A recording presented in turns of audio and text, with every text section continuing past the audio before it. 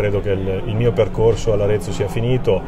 dal punto di vista motivazionale ed emotivo. Eh, detto questo, non sono io che decido, ho un contratto in essere con la società, sarà il presidente e il direttore che faranno le, le loro valutazioni, però la mia considerazione rimane questa, il fatto che io a domanda che mi è stata fatta in sala stampa serenamente abbia risposto che ne avremmo parlato con, con la società,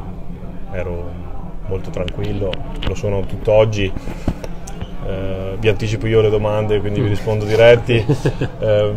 leggo dalle rassegne stampa di Gigi che sono inseguito da fior di squadroni e allora oggi approfitto de, del premio che mi viene consegnato per dire che nessuna, e sottolineo nessuna, squadra di Serie B mi ha contattato. Eh,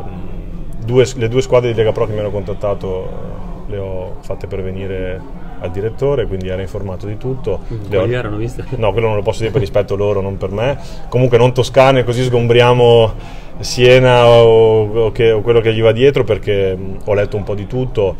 Eh, posso dire senza paura di sbagliare o senza paura di cadere in errore che non sono stato cercato da nessuna di queste società qui, eh, né Empoli né Siena né quello che è stato scritto, sono tutte bufale Detto questo, la mia richiesta di svincolo ehm, appena finito il campionato deriva dal fatto che quando firmai il contratto io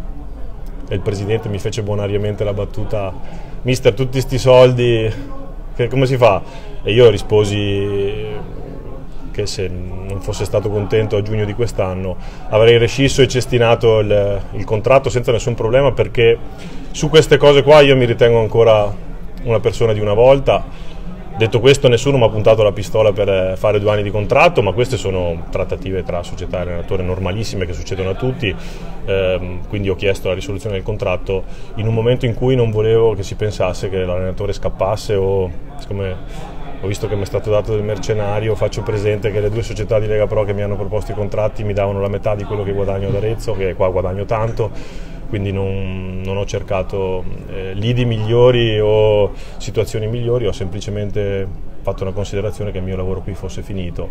e oggi resto ancora di questa idea qua tenendo eh, presente che sono un tesserato sotto contratto quindi deciderà il direttore la mia sorte. Si aspettava qualche argomento per convincerla a rimanere o qualche garanzia tecnica, magari di ambizioni per il futuro?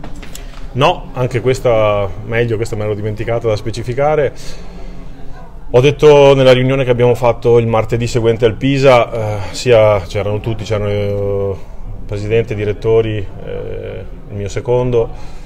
e um, ho detto semplicemente al presidente che avrei quasi vergogna a fargli una richiesta del genere perché sono due persone che mi hanno messo nella condizione di lavorare, come ho detto prima, come ho voluto, quindi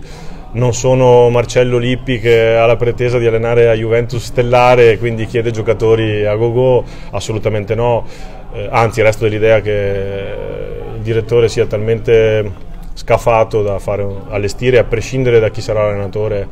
una rosa all'altezza della situazione perché l'ha sempre fatto. Eh, detto questo, non, non, era quello il motivo insomma, di, di, di, di, scelta tra il fatto di rimanere o non rimanere, era soltanto una considerazione personale associata ad altri affari miei che non, non sto qua a elencarvi, che non c'entrano niente, però non c'entra niente il rapporto che ho con la società, tifosi, città,